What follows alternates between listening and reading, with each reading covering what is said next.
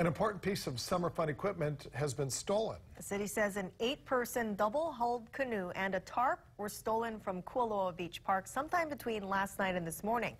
The canoes are used by a variety of groups, including kids that are part of the city's summer fun program. Now, we spoke to one of the program volunteers who says the loss could have a huge impact on hundreds of children.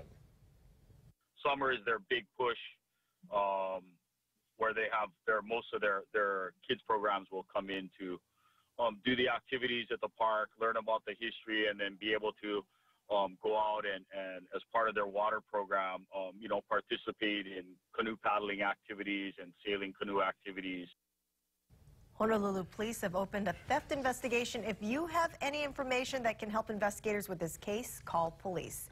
And hopefully someone out there will do the right thing, get that canoe back to the city and to the kids ultimately.